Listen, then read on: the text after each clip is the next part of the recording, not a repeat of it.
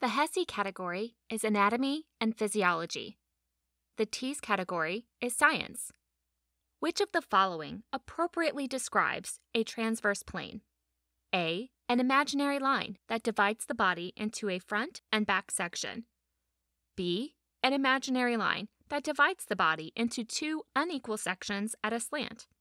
C. An imaginary line that divides the body into a top and bottom section.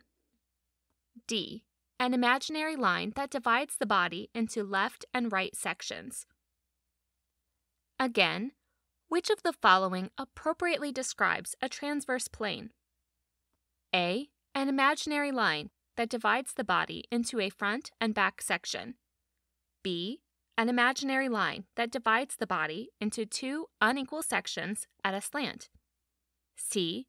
An imaginary line that divides the body into a top and bottom section. D. An imaginary line that divides the body into left and right sections. The correct answer is C. An imaginary line that divides the body into a top and bottom section. A transverse plane is also known as a horizontal plane. This line runs across the horizon, dividing the body into top and bottom. Thank you so much for listening to another episode of the Nursing.com Question of the Day podcast. We love you guys. We know you can succeed. Happy nursing.